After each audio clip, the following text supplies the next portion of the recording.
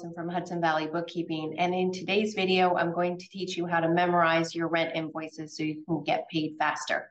All right, let's get started. Okay, everyone, I'm going to teach you how to create a recurring transaction to um, automatically invoice your tenants. So let's go to sales. Oh, I need to mention that I am in accountant view. I just click the gear icon. I don't care for business view, so I teach in accountant Okay, so we have a list of the tenants. I'm going to pick this tenant as who I need to automatically invoice. And this is something I always put in here is like the lease end date. So we're, let's say we're only going to need to put in for four months. We'll start January 2023 and we'll, we'll put in this scenario. Okay. So you click new transaction, click invoice. Okay, and then you would want this. You need an email in here to make it automatically email the client. Um, I'm just, I'll just put in one of ours. Just So you can see what it looks like. Okay. So we're gonna make this for January 1st. Make sure your due date and click create recurring. You can do this, let's say three to four days in advance. Click automatically send emails. Start date would be January 1st, end date. It's gonna end after four occurrences because I said we're saying at lease will expire.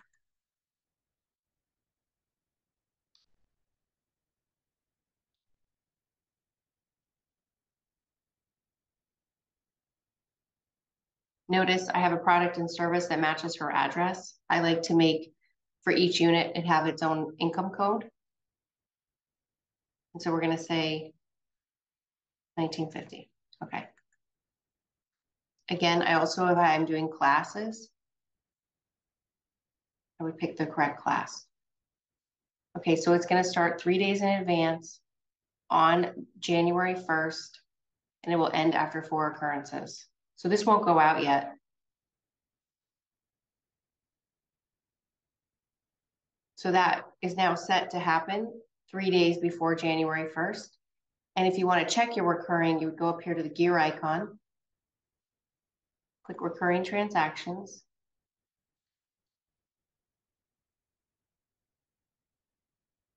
And I have other ones in here. Here it is, Melissa Bond. It's going to start on January 1st. You can click edit here. I'll take you back into that. So what I like to do as well is, let's say we know she is going to continue, then what I would do is start a new one for 5-1-23. And let's say her um, bill goes up $50.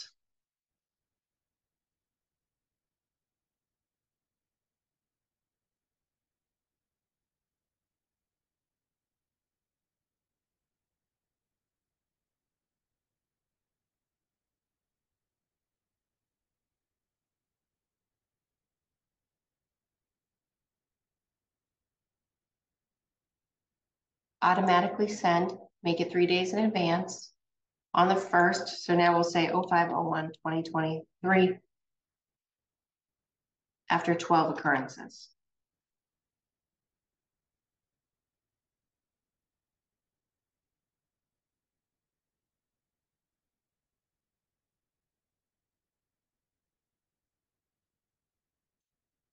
That just came up about automatic reminders. Those are dangerous. The reason they're dangerous, I see, I like them, I don't want them on. Because if you're not really good at making sure your payments are posted all the time, you will send people these and they may have paid you. So unless you're up to the minute, I would not have reminders on. I can show you how to send a reminder. Um, I'll show you in a different one, but don't do that. I had just had a client um, one of my clients and our company paid his bills and the check had cashed and they sent a reminder to pay the, the invoice and I didn't even understand what was going on. It was because they weren't doing a good job themselves of keeping their books up to date. And then QuickBooks was sending out these reminders. So just understand that, okay? So now you save the template. And now we'll have two different, we have this Melissa Bond. And we have this one. So this one will go through January, February, March, April. Yeah, and then May it'll start again. So again, on like a commercial lease, you have a five-year lease, you could set, all. I would recommend setting all of these up all at once, you know, do year one, year two, year three, year four, get them so that you know that that part is handled. Now, let me show you what I said I would teach you about a reminder. Okay. So right over here, this is, you know, just a demo file for teaching QuickBooks. Here you can go on any invoice here and send a reminder. Okay, so it's saying send that. The other thing you can do is if you're allowing QuickBooks payments, um, you can share the invoice link. You can copy this and paste it into an email, and that'll help you as well. But so that's how you do a memorized transaction for QuickBooks Online to invoice your tenants. Um, I hope you found this helpful. All right, have a great day.